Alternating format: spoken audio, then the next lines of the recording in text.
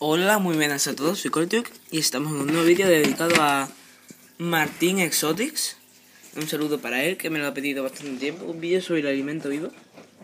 Y estamos aquí ya, y como podéis ver, he cambiado los, pocos tenedores que quedan aquí, porque aquí está mejor, le he puesto estos salvados de avena, un poco de pienso para grillo, a ver si se lo comen, y pienso de perro de mi, de mis amigos. Y ahí tenemos uno, unos poquitos. También le he puesto rúcula y canónicos. Y bueno, hoy voy a intentar lavar yo esto porque está todo lleno de humedad. Que se ha puesto la. El salvador de. Te digo. Se ha puesto verde, es increíble. Un destrozo, vamos. Y hay que, hay que lavarlo ya, o ya, porque los escarabajos son los únicos que han sobrevivido. Está eso asqueroso.